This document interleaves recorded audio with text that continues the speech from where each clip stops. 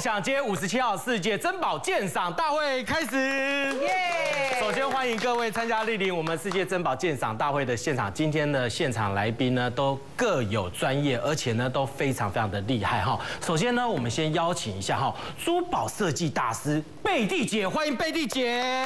大家好，新年快乐。好，来贝蒂姐，好好的来说一下您这一生的行头。来，先看一下您的那个项链哈，这项链您自己设计的。这个项链跟这个这个就是自己的那个粗浅，粗浅啊，粗浅的设计啊，就已经设计的那么华丽啊？是吗？那是相工师傅相的好。哎，你知道吗？那个贝蒂姐刚来上节目的时候，就马上呢拿出她的那个设计的这些首饰呢给大家来看哈。看了以后，她告诉大家说，这些东西超短。票，写那票，初代了，不值钱的东西，不值钱，我一生最贵的。你看我们所长都，你看我们所长都不可置信了，你知道吗？天哪，你实在是太雍容华贵了。我很感谢，很感恩，上天给我这么有福报，让我有健康的身体，让我能够穿金戴银。最重要的是哈，我觉得哈这些珠宝哈都不算什么，最重要的就是这些东西都是贝蒂姐自己设计出来的，而且贝蒂姐很厉害哈。呃，过去的话呢纵横演艺圈，现在的话呢不得了哈，自己呢琴棋书画样样都精通了哈。上次来节目的时候，你说你会画画吗？你看你现在珠宝设计，珠宝设计听说您是到那个呃香港去学的，是不是？呃，这个珠宝的那个。呃，钻石的鉴定是在台湾呢，哈，然后设计是有一位比利时的老师，哎，我们。在香港跟他学的，对，对，所以对于珠宝这件事情的话呢，贝蒂姐再熟悉不过了。所以她今天呢也带来了价值连城的珠宝。除了她身上所佩戴的这一些是自己设计之外，另外她也收藏了一些非常有价值的珠宝。待会呢，我们好好来看一下哦。接下来这位呢也是大师哈，他是呢这个珠宝的买家大师 王健杰。不敢当，不敢当。其实，在贝蒂姐旁边不敢说大师。你你马加高贝哦，马海见到欧贝开机啊，其实买的很广哎。你大概都收藏哪一些？我收藏天珠，还有字画，还有木雕都有哎。对，那珠宝呢？珠宝一部分啊，也有。男生喜欢珠宝的会比较少一点点。对，通常男生哈会收到珠宝的话哈，不外乎就是怎样，要么就是送给女朋友，对啊，要不然狗喜当来都小哎。对，也是送给妈妈啦，送给兄弟姐妹啦。其实你要有智慧的，应该要收藏我。真的真的来得及吗？现在还来得及啦，现在还来得及。今年大家进来报名。杜家杜家还贝蒂姐来的时候，马上拿一个那个戒，哎，戒指嘞？戒指跑到哪了？哦，戒指，刚刚有一个戒指哈，马上就把它拿给那个所长然后，说所长记得记得呃记得好你大姐哈。哦，我那个所长哈很害怕哈，怕带了这个来戴了这个戒指哈，你看这个也是贝蒂姐所设计的戒指，这个最第一个设计了。哎。那个时候老师说你们自己画一个图哈。所长都好担心说戴了这个戒指以后会不会就把贝蒂要给娶回家了。我问过这个所长。我说你会离婚吗？因为我觉得这个男人，你看他脸红了，你看，你看脸不会，我儿女成群了，不会。所以，所以若娶娶贝蒂姐，也可以把她所有的珠宝全部带回去。接下来呢，我们要欢迎的就是我们的珠宝玉石鉴定所的所长黄杰奇黄所长，黄大哥欢迎你。嗨，大家好。好，首先我们先欢迎贝蒂姐哈。贝蒂姐的话呢，通常出去的时候呢，这个首饰基本上呢就一定会佩戴着哈。即便是吃一个面啊，到面摊也是一样这样子的打扮的哈。所以呢，如果呢您在这个路边看到贝蒂姐如果这样子在吃面的时候，你不要觉得很意外，因为呢这些对她来讲的话呢都是小 case，家里面的珠宝实在是太多了。不是，哦不是这样子吗？你上次来就是这样讲的啊。不是啦。就到四东市场逛街，就会这样子了。四东市场是很高级的市场。我跟你讲，这个睡觉当然不会戴了，但是我告诉你，我有个朋友睡到半夜起来，他还要起来上个洗手间，他还要擦个口红。哇哦！这个就更严重。那那是他给自己看的。不不不不，他说他先生如果一转身看到他，哎呀，你好像林青霞。那会吓坏的哦。好来，但是我们刚刚除了刚刚看到贝蒂姐身上的这些自己设计的一些珠宝之外的话，那贝蒂姐的话收藏也很有一套哈。我们一个一个来看。好，首先呢，我们先来看一下哈，这一个呢是这个翡翠的马鞍戒哈，我们给大家看一下哈，这个是翡翠马鞍戒。好，贝蒂姐，这个是当时是怎么来的？哦，也是喜欢，然后就就买了，因为它的马鞍很肥很厚哈。我喜欢的东西都是比较比较大件的，或者是没有雕工的，可以手盘的，这是我最喜欢的。嗯，你当初买来的时候就是就是就是戒指镶的吗还是自己我自己镶的啊，这个也是自己设计吗？对，这个这个很好像很公式化的东西嘛，对对，很多因都这样。为马鞍的就是这样子。对，马鞍就这样，哦也没有什么好那个对对对嗯 OK，好，来，我们请所长帮我们看一下哈，当时买这个戒指的时候是买多少？那个时候这样子下来大概差不多三十万。就是连整个香宫还有旁边的哎碎钻这样子，总共三十万。差不多有那光是那个马鞍的这个翡翠呢，马鞍那个时候买大概差不多也十几万，十几万，将近。二十万。嘿，哎，可是女生买这马鞍是不是比较少一点？大部分是不是男生？哎，我大概比较喜欢中性的东西，所以我喜欢买这样的。我好，我这种东西收很多。而且我发现那个贝蒂姐你喜欢大的，对不对对对对你是不是买珠宝有一个原则就是要大？哎，好像比较保值。嗯，我不喜欢买那种碎碎的东哎，西。待会我们好好来这是内行问一下哦，是这对样，这是内行哦。买任何珠宝就是要大，一定要大，是，大才是保值的。这个也是缴了学费来的。嗯，一定是。对，那你有被骗过吗？我是没有被骗哦，好像也有有。我在香港都在广东道逛，啊，广东道就是很，广东道还放在口袋里面讲价钱，对不对？对对对对，很好玩。两个人手摆在口袋里面去摸手摸，手指头。对对对对。那你你你那那这样子摸的话，你摸得出来啊？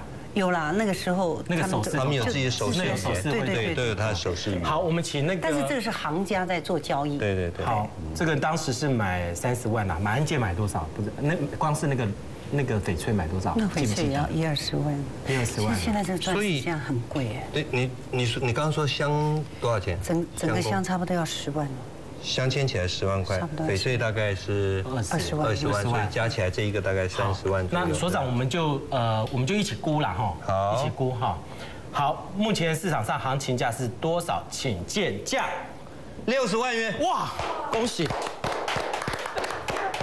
谢谢。这一个哈会好的理由是在这里，你看哈，贝蒂小姐刚才讲的没错，就是它要厚，有没有？这一个它够厚，大部分的马鞍戒啊都是它有一个弧度，可是就是薄薄的一片，对，那那个就不值钱了哈，就差距离这个相对就差很多了。这是第一个。第二个呢，这个马鞍戒呢，如果我们从正面看哦，它颜色很正，啊，颜色很正，只是说。呃，我们现在回过头来讲，就是还是讲它缺点了。嗯它缺点就是现在的马鞍戒比较没有那么流行。嗯，在以前呢、这些都是以前流行的饰品，就是它它要做成这样。现在如果我有一块原石的话，我要做一定做成蛋面，嗯对。对不对？现在都是做成蛋面。如果这个石头做成蛋面的话，那如果它能够做成蛋面的话哦，那可能那上百万以上。对，它的材质可能还要再更大一点。对，要再大一点。对它应该是取它的长条的这个绿的地方，但是你如果要宽的话，它的绿可能就又不足了。以前是这样子哈，如因为以前这样子的马鞍非常流行啊所以呢，如果我有这么大一块绿的话，它就有可能做一个、两个，做两个下来。哦啊，或者说它的绿的颜色看怎么分布，它都有可能。因为以前这样子的商品叫做流通商品，对这样子玉呃珠宝玉石有一个重点，就是你要做一个东西，一定要做一个流通商品。如果你做的不是流通商品，比如说只有你自己喜欢，那可能就是你自己保留吧。嗯，你以后要再卖出去会有问题的。所以这个是在当时的呃流行的状况之下做的流流通商品，可是流行时间过了。嗯，现在要的是单面。嗯，但是被那个贝蒂姐这样一设计的话，这个戒指说实在的，其实看起来的话也还是蛮漂亮的哈。那我们可以那个，我们可以请那个贝蒂姐来，贝蒂姐你要不要戴一下这个哈？因为贝蒂姐其实您戴这个，我觉得非常的合适。你看，它是属于比较就是那种太太胖胖型的太太戴的，比较富贵，对富贵。但是就是我的手指头好像要戴比较大件的，如果戴小小不够大吗？这够大了吧这？样是可以，可是我有更大的。我有更大的，就是说很漂亮的，这个就已经很漂亮了。它这种这种绿的话哈，你其实呃，像贝贝蒂姐今天穿这样子的话呢，她戴那个绿的话呢，远远的你其实就可以看到那个绿了，那个绿其实是非常的亮的哈，所以这个值应该算是非常不错的。它的质地还不错，质地非常漂亮。然后呢，玉石也蛮温润的，只是说它还不够，叫台湾话够够看奶青够看水哈。呃，当然跟价钱有关系。对，啊，那就是那就再往上跑嘛。但是这个就是说你不会不会赔本呐。啊，不会，保值啊。如果您刚才刚才讲的金额，事实上你已经赚钱了。三十万现在涨到已经涨一倍了，六十万了哈。好，来这个呢是翡翠的马鞍戒哈，现在呢已经价值六十万了。好，接下来呢我们来看一下哈，这是套组啊，这是一套的哈，给大家看一下哈，这个呢是一个。戒指，然后呢，再加上一个呃坠子这样子哈。那这个呢叫做碧玺套组。那这碧玺套组的话呢，您当时是怎么来的？哎，我觉得红色是很喜气的。对，它这个有一个是砖红色的，有一个是玫瑰色的，两个不是颜色不太一样。不太一样。这个是玫瑰色，这是砖红色啊，这玫瑰啊。哎，对对。然后这个那因为因为它这个其实碧玺跟红宝一样，它里面都会有杂质，很容易碰碎。那如果有面积这么大的话，我觉得这个也很难得的东西。没错。哎，好，来我们请所长帮我们看一下哈，这个是。坠子，然后呢？我们这个也是自己，这也是自己设计的吗？啊，这个镶一镶，这个这个是流线型的、流通型的。所以你你也是你也是买那个啊？你也是买它的？啊，对，我没有镶裸石，就是买裸石。对对对。所长现在正在帮我们看这个内涵物。我在看哈，如果我们看这个荧幕上面呢，你就会看到很明显的这个叫水液体哈，就一一点一点这个一点一点的，这些都是水液体哈。哎。好，这些都是水液体。啊，那我们看到了一个，这里面有一个很重要的重点，我把它的角度要调出来。好看这边，你有没有看到像针状物一样的？嗯，一丝一丝的。嗯，上面是哦，这个这个地方对对对对，这边一丝一丝的。哦，有没有看到哈？这边一丝一丝的。这个不但是确认它是天然的哈，啊，还是确认它的产地。产地呀，对，这样子就可以看得出来产地。对对对，这个是可以看出来它的产地，这个就可以确定。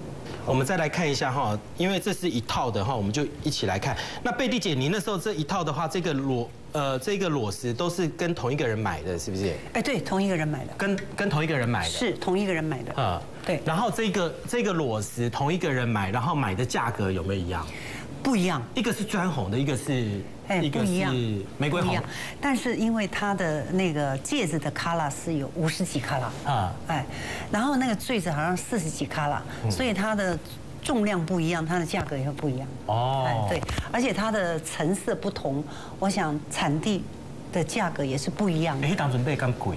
一阵那买嘛是加起来那两行加起来嘛差不多爱，呃，差不多嘛是爱爱。哎，连香工哦，现在后来才香的，差不多也要三十几万，三十两个加起来三十几万，也是要。那当时的那是连镶工嘛，哈？连镶工，连镶工。好，好，现在看到这一个呢，我们这荧幕上面的呢，也就是它也是一样水一体，可是你就看不到针状物，就是刚刚那一丝一丝，对，刚刚那一丝一丝的这个上面是没有的。所以这两个地方是不一样的地方吗？对，这两个。就是指它的产地就是不一样了哦，这是第一个哈。那第二个就是它两个都是碧玺是没有错的。好，是。好，可是我要我要跟观众朋友说一下，因为我觉得这个是刚才说是套组哈。嗯。如果我们镜头拉近看的话，它其实不成套了。嗯。所谓的不成套，就是说它的颜色是有一点点不一样，有没有？色差。啊，有色差嘛哈。你会看到像这一个的话。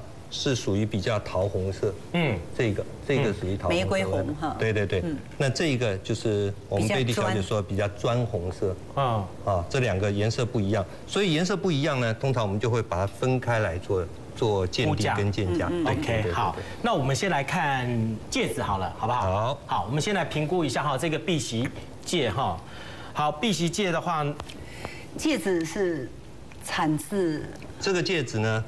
产自于巴西哦，巴西，这个是巴西。嗯，那那一个呢？那个坠子呢？是产自于马达加斯加。哦马达好，我们先来看一下哈，巴西的这个戒指哈，巴西这个戒指目前市场上行情价是多少？请见价。四十万元，哇哇哦，哇，你光是那个戒指就已经对赚回来啦。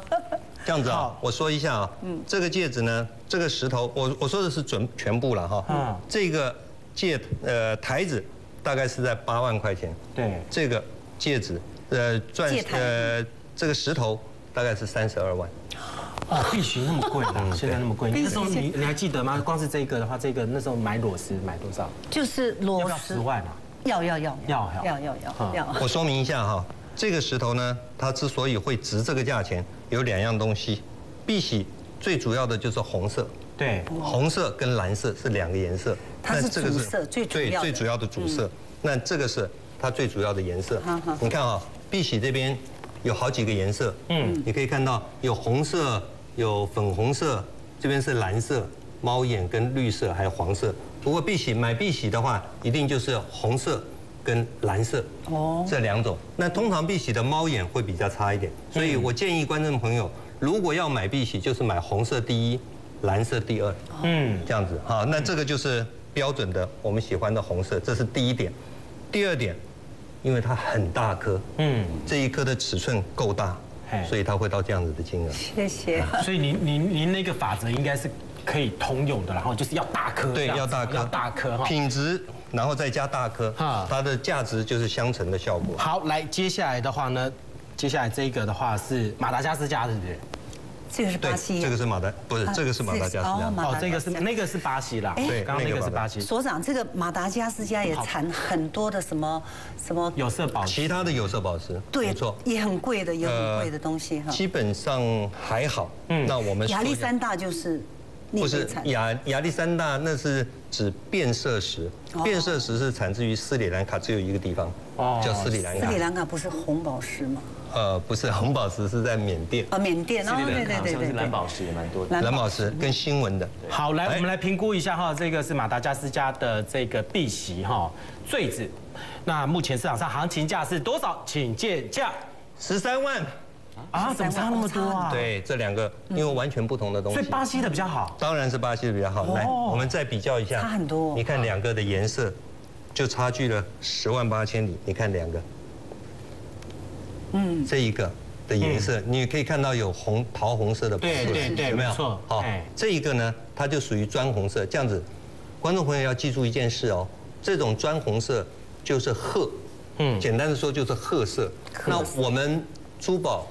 这种刻面，这种就是有这样子像钻石一样这样子的刻面的宝石呢，嗯嗯，比较怕的就是灰色跟褐色。嗯灰色跟褐色。灰跟褐是我们不要的。那这一个呢，显然这一个呢是有褐色，嗯，哦，好，那这一个是桃红色，所以这两个有很大的差别，价差就差出来了。虽然你可能看大的对你可能看会觉得说只差一点点啊，就那么一点点，珠宝就是要比较。啊如果把两个摆在一块比的时候，它的好坏马上立变。哎，我本来刚刚看的时候以为这个坠子应该会比较贵，因为就以按红宝石这样子来看的话，不其实它的颜色是颜色越深越好吗？不是，它的颜色钻的蛮讨喜的哈。哦，这样子但是。砖中有带一点褐色，就是您是专家才看得出来，对我们还看不出来。有的人呢、就是有的人，当然有的人就是自己有自己的喜好了。对那我还是要回归到，就是它是不是一个通货？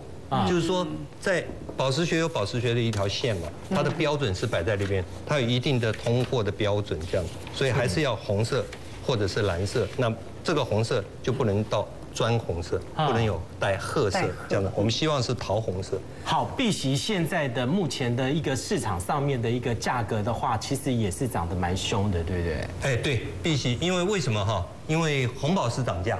啊，红色的宝石涨价，绿色的宝石都涨价。啊那呃，以前这种碧玺，如果说说二十年前的话，这样子的东西大概就差不多在十五到二十万之间。嗯。那现在不一样，都涨、嗯都涨价。好，其实呢，碧玺的话呢，在中国里面的话呢，有一个人非常喜欢碧玺。那这个人呢，就是慈禧太后哈。我们给大家看一下哈，慈禧太后呢，她其实这个所珍藏的一个碧玺的话，有很多的说法，而且呢，这个碧玺至今是一个谜。为什么会是一个谜？那慈禧太后呢，是在一九零八年的时候呢死，后来呢葬在那个东陵。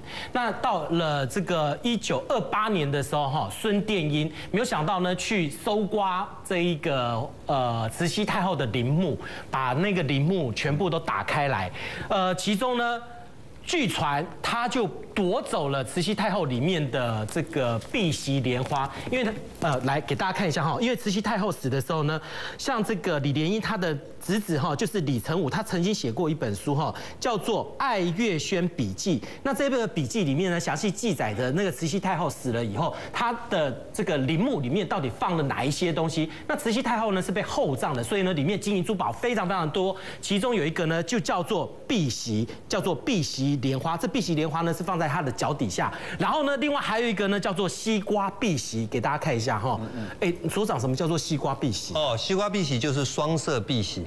你看那个板子上面就像就是双色碧玺，所谓双色碧玺就是里面是一个颜色，外面是一个颜色。碧玺大部分里面都是红的，外面就是这样绿的，就像一个西瓜一样。西瓜切开有没有？哦，这个是原石。对，这个是原石。这原石切开了以后，里面就是红的，外面就像西瓜皮一样绿的。所以说也太神奇了一点吧？这个外面的没有要，只有取它的中间的这个。可是所长那个那早期的时候，台湾呃那个中国大陆其实没有产碧玺吧？哦，中国大陆没基本上有碧玺，可是都很低品质，它品质的颜色都很暗、很钝，那跟这个不一样。那不就慈禧太后那时候的话呢，就是找了一些官官官员，然后到国外去买这些碧玺回来。对，所有的碧玺哈，在中国有历史以来的记录，只有慈禧太后开始有碧玺。之前都没有碧玺，之前目前都还没有看到哦，所以只有从慈禧太后碧玺开始传入了中国哈。好，那这个孙殿英后来呢，把这个东西呢搜刮一空以后呢，据传他也搜刮了什么？搜刮了那个呃慈禧太后口中的那个夜明珠。夜明珠，对，夜明珠后来呢，据说把它送给了宋美龄，这是传闻啦哈。啊，然后那个夜明珠到底跑到哪里也不知道。另外呢，还有一个就是这个西瓜碧玺，西瓜碧玺它我呃。书中的记载的话，传言呐，哈是叫做翡翠西瓜。我不知道那个翡翠西瓜跟西瓜碧玺是不是一样。这是后来后来听说那个翡翠西瓜是送给了宋子文。那宋子文的话呢，就是当时的行政院院长。其实那时候就是西瓜碧玺，只是很多人会误以为上面那一块，因为绿色的嘛，中国人都会把它叫做翡翠。啊，那红色的。因为它包包含在里面，所以就叫做翡翠西瓜。好，但是这个翡翠碧玺的话，至今下落何处的话是一个谜，因为没有人知道它后来到底流落到何方去哈。所以呢，从这个慈禧太后里面搜刮出来的东西里面，其中有一个呢就是这个碧玺。好，搞不好你那碧玺那个当时搜刮来的碧玺已经改造成你这个，很难讲，因为我是很有福报的人。是没错哈，这个给大家看一下哈，来给大家看，哎这。你你你这个该不会是那个世界名牌的颜色吧？哦，对，是啊，这是世界名牌的颜色，颜色是对的。对，好，来我们来看一下哈，这里面呢放的该不会是这家公司出产的吧？哈，好，来这个呢是翡翡翠吗？哈，这是翡翠，哎呦，怎么那么绿呀？然后呢，这里面呢，这个坠子上面哈，坠子上面的这个翡翠的话是一个古钱的一个形状，这个也是您自己设计吗？呃，这个也是，这个是。比较那种土气的东西，现在是不流行，但是这个很久了。我说它叫这个呃，哎，富贵吉祥，因为它很华丽。大家都觉得说土气哦，这种都是现在都不得了哈。是有点土。你这个，我我说一下这个东西啊，我延续庆学刚刚讲的哈，呃，世界名牌基本上不太会有这样子玉，就是翡翠的玉石作为世界名牌的。通货什么意思啊？就是通常世界名牌都会去做钻石，对，啊，做别的像碧玺，嗯，或者别的这种刻面的宝石。为什么？因为可以颗颗都几乎很像，嗯，外表一看都一样，嗯，可是玉石外表一看都不一样。对所以它很难把它做成一个通货，就是从一个模式做出很多件，就变成这样。每一块玉，对，它的每一块它的雕工通什么都通不不一样，对对对，我帮你看一下。好的，我们谢谢请谢谢。请这个所长帮我们看一下哈。那这个呃坠子的话呢，翡翠坠子的话，贝蒂姐你那时候的话也是一样买那裸石，然后自己再下去镶的。哎，对，这个是是香港的香工，对，那你那时候买那裸石买贵不贵啊？这样整个下来也不便宜，大概多少？要一百多万。一百多万啊。嗯。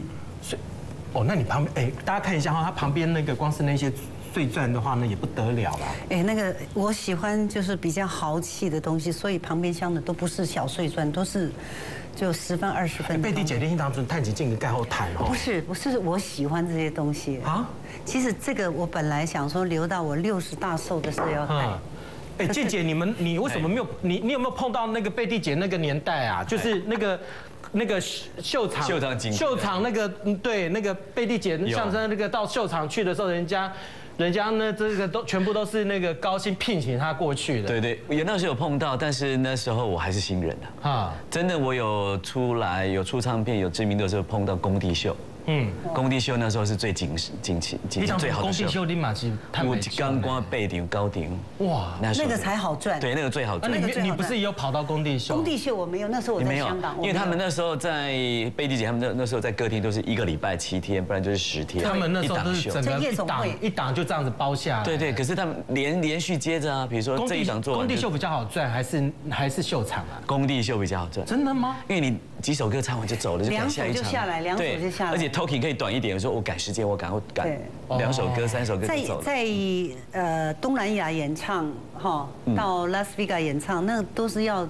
一个钟头四十分钟的，而且那个你事先你要准备准备很多东西啊，那你功力就不用啊最主要是你去把歌声带给他，人家看到你。最主要是人家看到这个小帅哥，人气就来了听到这个王姐姐要来的话，所有的人都跑来买房子啦，对对不对对哈？那贝蒂姐的话，那时候呢，其实赚到钱，哎，其实我觉得你还蛮能守的啦，因为其实很多演艺圈的人就守不住，后来也就全部都花了。贝蒂姐是有智慧的，啊贝蒂姐没有真的是玩股票。对她真的是没有有智，你没有玩股我票，不会，我这个赌啊，这个嗯喝酒抽烟都没有的，我都没有啊。嗯好来 是好。所长看好，的所长看完，非常的然后仔细看得非常的哈。仔细哈。好，我们请所长来评估一下哈。这个呢是翡翠的坠饰，好，可以吗，所长？可以，来，我们就说实话了。嗯 好紧张。不会，不会哦。这个。不过这这被你这样，因为你是个老实人，你这个突然间我心蹦蹦跳。贝蒂姐，哎，贝蒂姐，你这个如果买错的话，前面这边全部都亏，全部都赔回掉了，因为你这个买的很贵，一百多万。好，我们评估一下哈，翡翠坠饰哈，目前市场上行情价是多少？请见价。三十万，哇，啊？为什么？我还是说实话，赔赔了，好不好赔了七十万，这样子，我说的是，而且我说的三十万呢，我觉得它的钻石这个部分是二十五万。哈？啊，这一块有问题啊。那你那个你你那个翡翠只值好，你看哈，这个翡翠我们现在看是绿的，对吧？对，我们现在照上去以后哈，嗯，它的底部变成了有一点点黄黄的。好，你说它是放胶在上面，对，然后我解释给你听。哦。背面呢，封底，封底，嗯。对，嗯。背面封底，正面看，我们从侧面这样子看是薄片，嗯，好，侧面看是薄片，背面又封，呃，底部又封底，正面看呢，我打光下去，现在看一个颜色，打光下去看以后呢，底部的黄色跑出来了，这是有胶是不是？中间那个地方。意思就是什么意思啊？哦，它本来是一片薄薄的一片玉石，然后呢，它把它贴在下面那个那个胶上面。胶呃，把它用胶粘在下面这个金属上面，啊。啊，就粘在这个金属上面啊，把它粘在这上面，然后很有可能是因为我们现在已经没办法看到嘛哈，可是很有可能就是它的绿色很多的绿色是胶的颜色，嗯，好，所以石头本身是一个薄片，而且透明度够。嗯，然后我们靠胶的颜色呢，把它提出来，它的颜色看起来更绿、更漂亮。嗯，这很有可我明白。能。呀，是这样子。所以这个买这个东西啊，有的时候是亏了钱，然后再学经验。